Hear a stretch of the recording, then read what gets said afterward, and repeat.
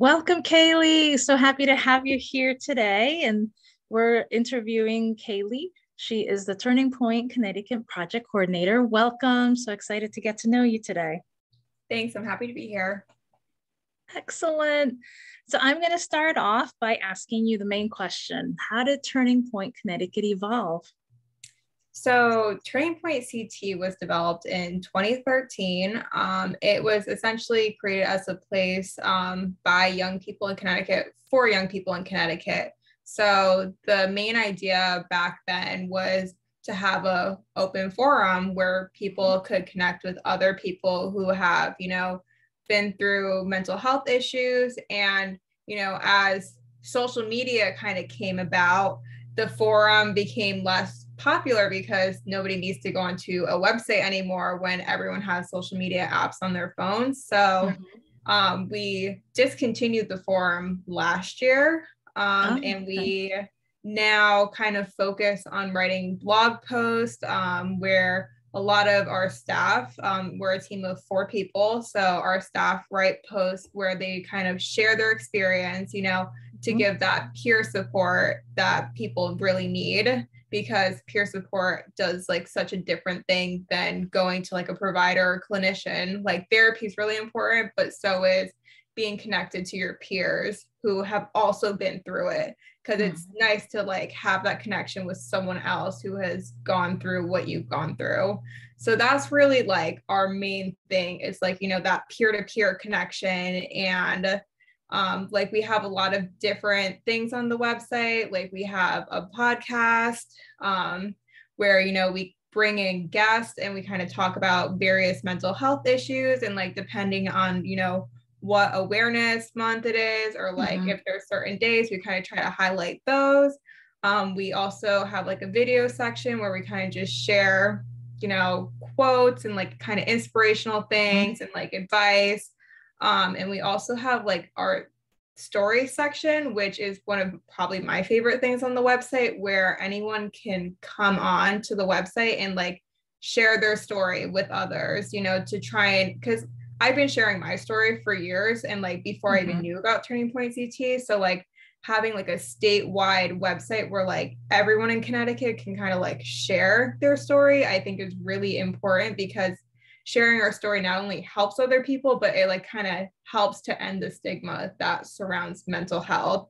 So um, anyone is welcome to really submit content to any part of our website. And I think that's really important, especially now that we don't have the forum. And I think some people might feel safer on a website versus like, you know, sharing it on social media because social media feels so like in the public eye and like you know people are like oh nobody is going to look on this website but we do have actually a lot of visitors who like come to our website and view mm-hmm. our content so yeah that's probably my favorite section because i really love reading through everyone's stories and like just seeing mm-hmm. like oh, okay like they've been through this and we have such a wide variety of like content like we have people who have struggled with things like eating disorders you know um abuse or like you know just regular like anxiety depression ocd like just you know all walks of life ha- are like mm-hmm. on the website so like if you're that person that feels like nobody else has gone through this you're like bound to find someone on our website who has been through what you've been through so i think that's really important to like feel seen and like you know have that visibility of all these various issues mm-hmm. so Oh, I love that. That's wonderful. It's true having that. You're not alone. You're not isolated. Uh, finding community through that storytelling and sharing experiences. I that sounds like a favorite part. I think I would love. Did not realize you you had a story section. That's amazing. And then you mentioned that people can submit. How um, how would they submit their stories would because i can put it um, in the comments uh, section to if there's a link or an email they send it to so it's actually really simple you can do it right from the website um, so oh, okay. it's you go to the our stories webpage mm-hmm. or section of the website and there's literally a button for share your story and it I think probably the nicest thing about it is, you know, a lot of people they're like, I don't know where to start. So mm-hmm. um, that when you click share your story, it gives you a prompt of like a couple questions you could answer just so you can like kind of get an idea of like, oh, what do I want to write about? What do I want to share? Because a lot of people, they're like, what do you mean share my story? Like, I don't even know what to tell you. So um, mm-hmm, it's mm-hmm. nice to have like some kind of direction to go to. Yeah. Um, but after that, then it gets, um, it doesn't immediately get posted. One of us will mm-hmm. review it before it goes up. And then um, we'll usually, you know, approve it and then it ends up on the website. So it's actually really easy. You don't have to email anyone, you know, because a lot of people are like, ah, email, like a lot of younger yeah, people. Yeah, connecting so. their personal information. Yeah, yeah. Right. Oh so. my gosh, that I love that aspect and that ease of just, and not to mention, like you said, the coaching questions kind of just to lead you to maybe the meat of your story or what you really maybe right. want to concentrate because your story can be so big or you want to sh- you know it helps you hone in on maybe what you want to specifically share and help you focus on that area Absolutely. and you can be like completely anonymous. You don't have to like put your name out there, you know, like you can have that anonymity. Like you don't have to be like, oh, I'm so and so. If you like, mm-hmm. if it, because for some people, it just helps to like even write your story and like share yes. it with other people. Mm-hmm. You know, you don't need to ne- necessarily share like, oh, I'm so and so. Like, and we mm-hmm. respect like if you want to keep your privacy. That was my next question. That's amazing because you're right. It gives you that freedom to express yourself. And sometimes, if written or however, just letting it out there and letting it go. And, and it's like the next step. And it's it's very um, calming and just feels good. And and then when you read other stories and you see how different stories are impacting so many people, you feel part of that that process of healing and that process of of connecting and helping others and um, and by sharing your story and i think that's one piece i don't think i've seen in other places so that's a that is such a great point to have besides connection to be able to to have others you know you can you transferred from a forum to this this website source and people still can engage with it and you could still share as a forum but it's just the next level which i i really applaud you guys. That's amazing ideas to do Thanks. And excuse me. So you talked a little bit of how people connect with Turning Point. They can they can view videos. They can go through the podcast. Um, now you said you're peer to peer. Is there any direct peer to peer support, or is it more through the engagement on the site and the podcast and things like that, or your other social media channels? So we do offer um, statewide peer support, one-on-one peer support with our peer support specialist, Ally. Um, and so that can be whether in person or virtual is kind of up to the person seeking the support. But um, we have that available and it's completely free to, um, you know, teens and young adults throughout the entire state. So, and there's really no barriers, you know, you don't need insurance for it because it's kind of just like if you need the peer support we're here to like provide that. Mm-hmm. So amazing. And how would somebody connect to to peer to peer support? So they'd reach out, um, whether by calling our office or mm-hmm. emailing Ally directly. And all of that information I can get to you. It's on our website, but I can get you a flyer to like put with this. So, oh, that's amazing. Perfect. Thank you. All righty. And then, so you mentioned already, you covered how individuals can connect to Turning Point, not only through the through the different um, social media connections, but the different content, sharing their story. So you've answered that, which is amazing. And how I know you're you're not very big. You said you're small. How do you guys? Because you are your social media presence I did some peeking and things. And you guys have amazing social media channels and platforms that you're using. I this is a personal question of mine, I think. How do you guys keep it all going when you're such a small crew? How many are you? You're like four? Four, four people. Yeah. We have myself, a project assistant, a mm-hmm. social media assistant, and then our peer support specialist. So yeah. Wow. So how do you guys get that all going and, and be able to keep all those platforms kind of moving along?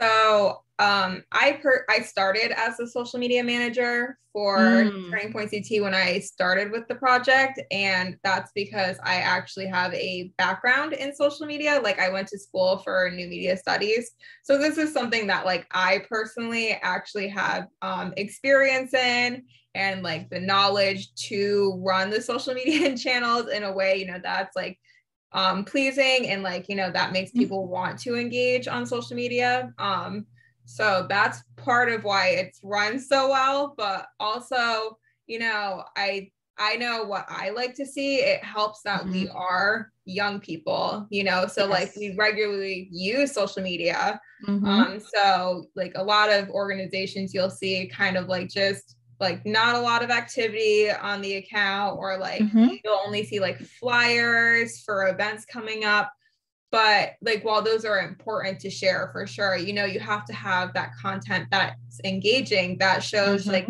you know we are real people um yes. you know we've been through it and like because a lot of people like that's the thing about social media it's kind of about like the personality of the account mm-hmm you know people follow for the people who run it uh, as well as you know the services they provide Correct. so it's really yeah. important to like share stuff where you know that our audience is looking for and like mm-hmm. you know a lot of our content like we write um, blog posts every week so sometimes it's just like promoting that or promoting old content on our website and just kind mm-hmm. of sharing like little snippets of what's on our website that you know we feel is like important to share and you know that people can resonate with. So it's really just posting that like engaging content as well as you know stuff people can connect with. And you mm-hmm. know right now reels and like those short videos are super popular. So they like, are. They really are. Yeah. Yeah. So i've been like really focusing on that and like kind of mm. trying to do the trend research because a lot of it has to do with like reusing sounds. So like I'll look for some like motivational quotes or like, you know, someone talking about mental health issues. So I'm like, oh, I mm-hmm. this is really like helpful to me. I'm sure other people would find this really helpful. So then I kind of just use that and like use footage of like myself or like the other mm-hmm. staff members or even just going into Canva and like finding some kind of video clip that goes with it. So I just think it's like so important for people to like for connection, you know, like because mm-hmm. that's why people will like spend so much time on social media because they're looking yes. for that connection, especially because of COVID. You know, there's mm. not that many in person things right now. Like, because no. we used to go to events, oh, like that was like one of the main things we did. Like, we'd be at community events, but there's not that many community events going on because there are still some people, even though um, we're so far into the pandemic, there are still people who like might be immunocompromised or like, you know, still mm-hmm. a little mm-hmm. bit worried and concerned. Yes. So, um, you know, especially with like random variants coming out of nowhere. Oh yeah, exactly. exactly. Um, you just don't know it, it, Everybody's in a flux kind of trying right. to come back to normal. And then, and then at the same time, I think a lot of, um, I've heard from families that they've been able to attend so much more through through virtual mm-hmm. um, because you don't have the the uh, challenges of space or mm-hmm. finding time to take off or travel time right or even just really... have a lot of people especially if they're teens they don't have they don't drive yet mode of transportation yeah you know so it's like relying on a parent but you know a lot of parents right now are working multiple jobs you know yes, and it's just exactly. so the kids are kind of just at home with their way to connect is through you know unfortunately mm-hmm. the internet and it's not the same as in person but you know it's better than nothing and just like isolation exactly. but that's yeah. why everyone's on social media because they're like looking for that connection with like mm-hmm. other people yeah they're looking for people like them you know what what what they reflect and i think you you hit a great point about expressing you know who the people are that the organization is so that way others can connect to them and see who they really are and who the organization is. And and um, through your content i love the content because i see what you're talking about. You see a little bit of everything and uh, some fun things that made me smile and giggle and some other great things that hit my heart.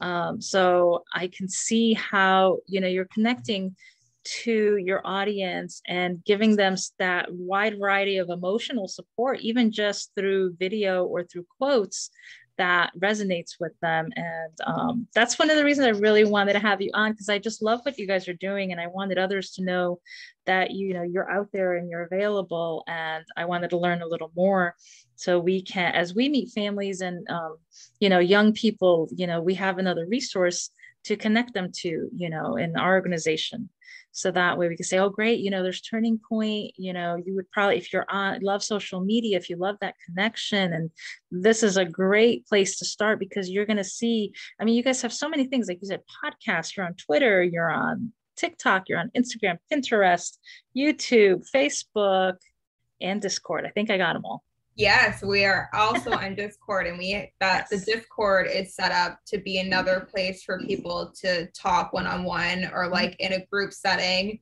okay. that's virtual. So it's just mm-hmm. a way for like another avenue for peer support that's not, you know, just talking to us. Although mm-hmm. that's also an option because we're in there as well. But, you know, it's just to connect with other people who are like, you know, sh- might be struggling with their mental health or, you know, might be on like more of the recovery side and kind of like have been through it and in a better place now and able to like you know give that advice like oh yeah like the you know validation of i've been through it it is really hard but like here are some of the things that helped me like it's just like mm-hmm. a safe space to talk yes. to other people that's like not as open as like on social media yeah i see that definitely it's kind of like a, a closed group but it's it's more personal and that's like you said no not so out there everywhere right. and for all eyes to see and and you're connecting with people who have had lived experience so and and as you mentioned before that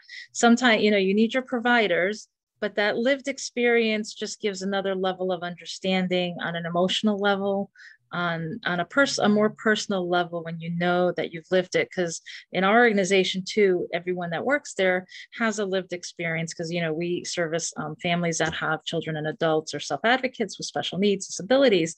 So we all either are caregivers our parents our family members somehow connected to that so we have that lived experience and i totally agree with you it just gives you um, a different understanding there's not as much explanation when people talk to you you're just like you you know you get it and they're just so relieved because they're like oh I don't have to explain myself. Right. I say something, one word, and you exactly know what I'm talking about. And I'm not like having to excuse myself, apologize. You you just understand who I am. And that is such an important place that people need to find to, to be themselves and to be, you know, besides with providers, which is very important, but to be with others, you know, whether there's mentors or peer to peer is such an integral, and you're seeing more growth of it because it really is the, I feel that it's more that holistic, complete caring for individuals through the process that they're going through, not only through the provider side, but to find that peer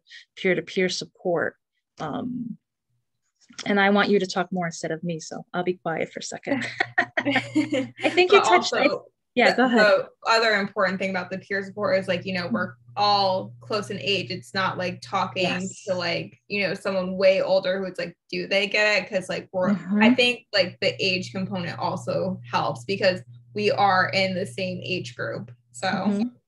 that's a great point. That's a great point because you're right the the generational gaps and things like that you, you know even even 10 years apart or something especially i feel like how we're living it's almost like the computers it's like evolving each year even more than in the past. You kind of stayed within certain things. So to have that that age group specific to have that more comfortable atmosphere and and true connection because you know you're within the same age group. So you you automatically already know and feel like okay they're really going to know who I am because we're we're alike not only in what we're going through but age wise and, and most likely experience wise so you're you're getting that deeper connection which is a great point to have. I love that. So i love your organization. Um, so you just answered that question. Why do you think it works so well? Yes. And what do you love best about the work you're doing? I would love to know so I think what I love best is, you know, that being able to help other people, like obviously sharing some of the things I've been through and like some of my struggles, it's like not easy to be so transparent sometimes because I'm like, oh my God. Because if, you know, I'm putting it out there for the people who have been through it, but I'm sure it's meeting other people's eyes that like haven't been through it and they're reading it thinking like, oh my God, what is mm. this?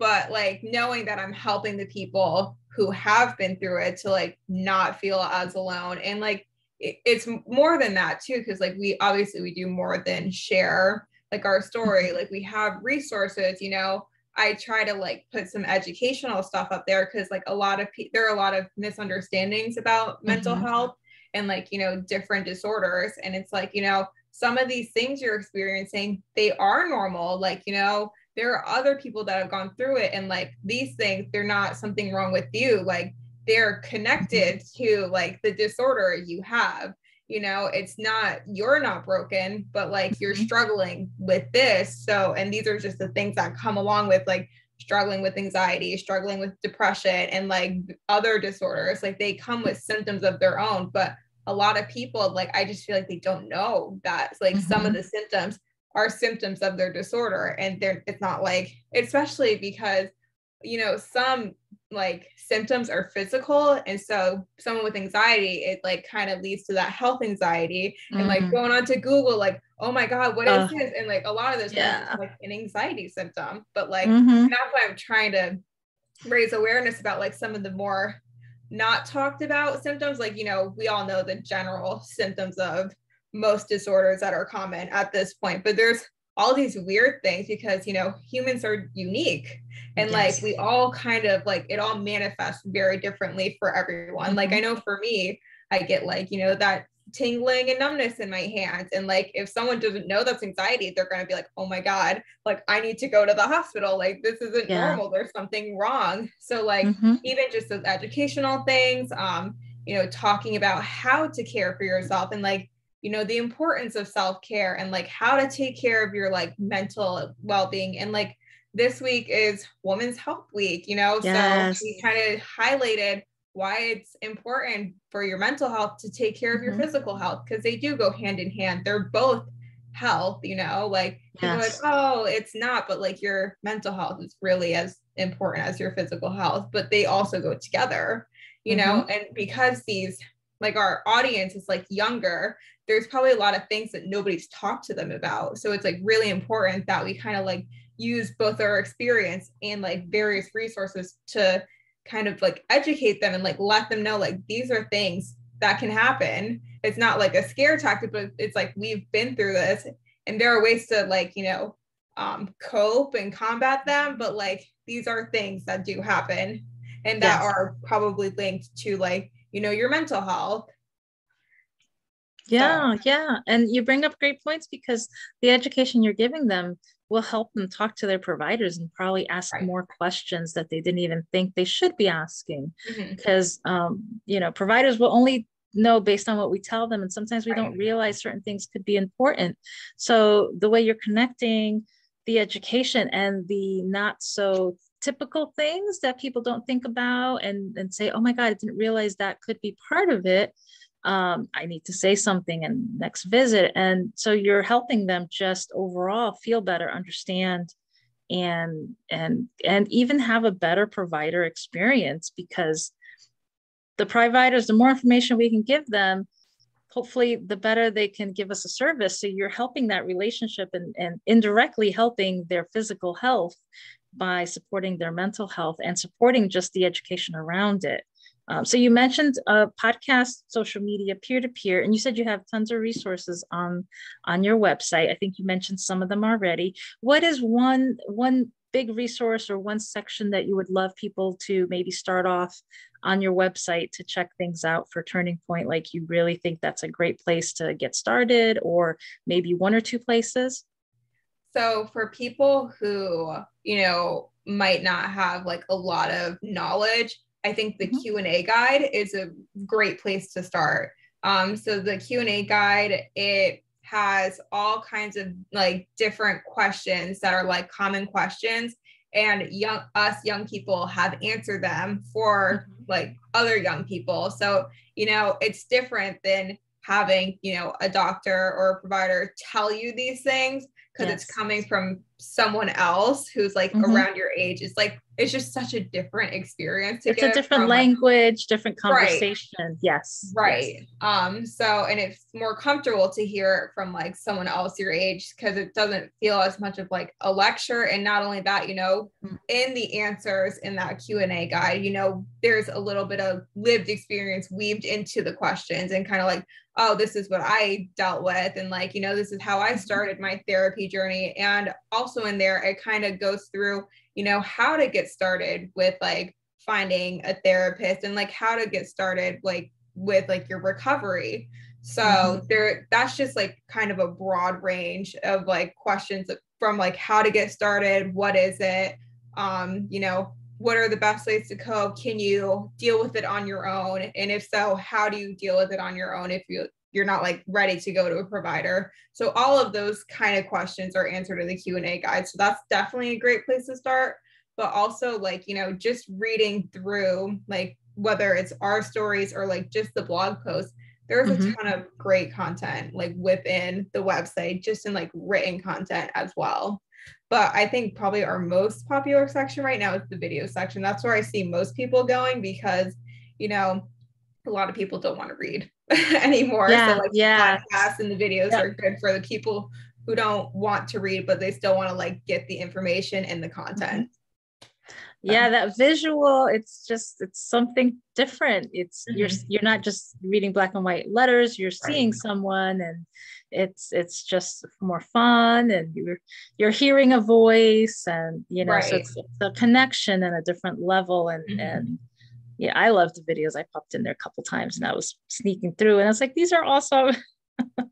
But thank you for that. So definitely i'll put i'll put um in the in the comments below i'll put direct links to your q&a guide page. I'll put it to the short stories and the videos section and the blog. Can choose, pick and choose. And I'm sure when they go on the your website, you could clearly, it's so well lined out that you can, you know, choose um, the different things.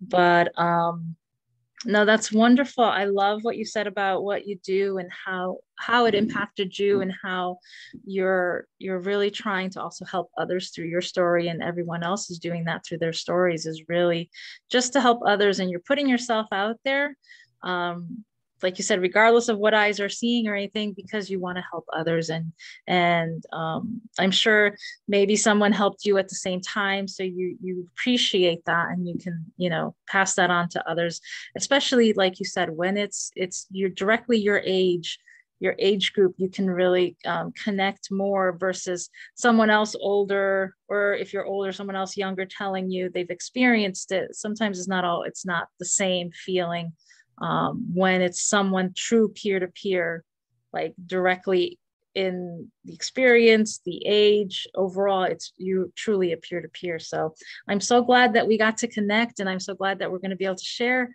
what you're doing with others um, through our platform and letting our families know so that way their teens and adults they can connect with you guys and get more information. And then I know you're going to send me the flyer with um, how to connect peer to peer. And then yeah your website is lovely. It's built out. It's it's very easy. And i love the sections and the social media. Everything's there. And there's a little bit of everything. And i love that. You've covered all the senses. Like everything is covered. And it's amazing. So you are a very good social media manager. Thank you so thank you. And I don't know if you have anything else to um, finish off with, but I really appreciate having you. And I've learned so much more about your organization and your project. And it makes me just want to go and learn more because it is really amazing what you're doing. Thank you. That's great. I really did learn a lot.